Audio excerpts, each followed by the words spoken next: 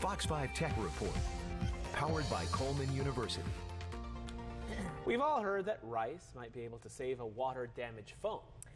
But What? there's a household product that actually might dry it out faster. Ooh, Really? Rich DeMuro, tell me, tell me, tell me in today's tech report. What is it? If it's not rice, I, I, this is so exciting. Uh, they tested couscous, Couscous? instant oatmeal, okay? couscous.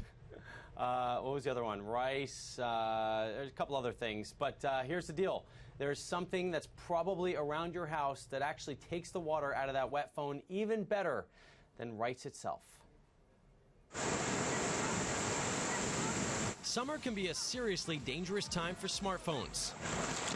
Gazelle actually sees about a 34% increase in broken devices that are traded in in the month of July. That's Amy. Last name is Rice, R I C E, and I am a gadget expert at Gazelle. Yep, rice, as in the stuff you've heard you should put your phone in when it gets wet.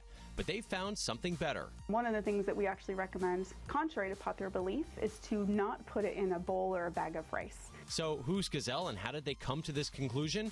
They're one of the most popular places to trade in your old phone for cash. They'll even take damaged devices. We wanted to see what was true, what was not. We did a little myth busting of our own to see what worked. They put phones in rice, oatmeal, even couscous.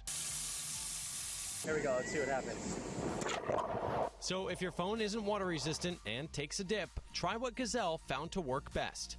First, turn it off and leave it off. Then, give it a shake to rid excess water. If possible, take off the back, pop out the battery, and remove any SIM or memory cards.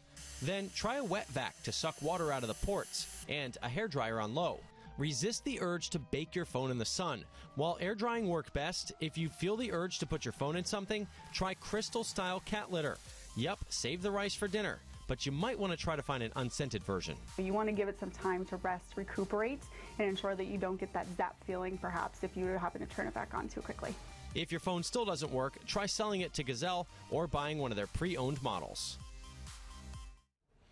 All right, here's the thing. When you're using this kitty litter, you know, you're desperate. You want your phone to turn back on. So this is one of those last ditch efforts. You know, you got to shake out your phone, let Right. it dry out as long as possible. Wow. That's really the trick here, Raul. Cat litter. Um, Cat litter. You got to let your phone dry out. I know. it's you go. crazy. But uh, it makes sense because think about it. Sure. It's going to absorb the liquid, and that's what it's there for. And Yep. it's going to take that liquid out of the phone, and that's the important part. But let your phone sit for as long as possible. Brilliant. Never thought of that. Only Yeah. Rich DeMuro. Only Rich. And that lady named Rice. My name Yeah, means rice, say, Rich. and, Did and the you know that? that did the test. Rich, my name means rice. What's that? Does it really? Mm-hmm.